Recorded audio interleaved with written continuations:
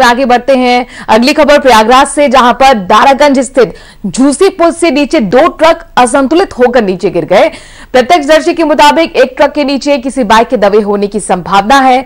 घटनास्थल पर मौजूद लोगों का कहना है कि यह घटना सुबह चार बजे की है, लेकिन मरने वाले की अभी तक कोई पुष्टि नहीं हो पाई है। सूचना मिलने पर पुलिस भी पहुँची।